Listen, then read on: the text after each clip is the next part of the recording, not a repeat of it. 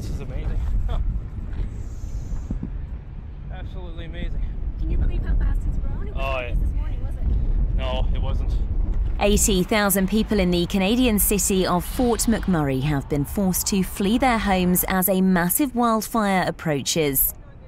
Authorities have issued a mandatory evacuation order for the city in the province of Alberta, which is in the heart of the country's oil sands region.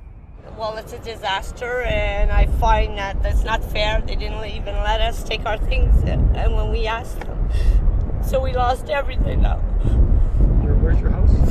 It was at the campsite. So it's gone. That's it right there. Yeah.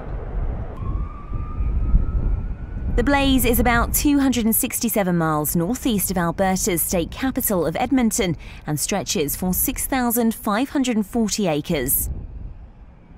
Firefighters are continuing to tackle the blaze, but the local authorities have called for reinforcements, including a water dumping helicopter.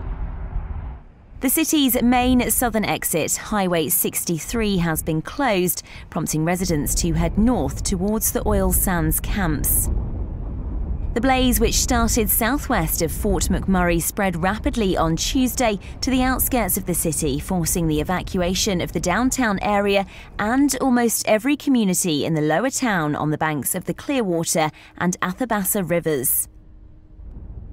Weather forecasters expect a cold front to reach Fort McMurray by Wednesday afternoon, bringing increased winds that could make for a more difficult firefighting day.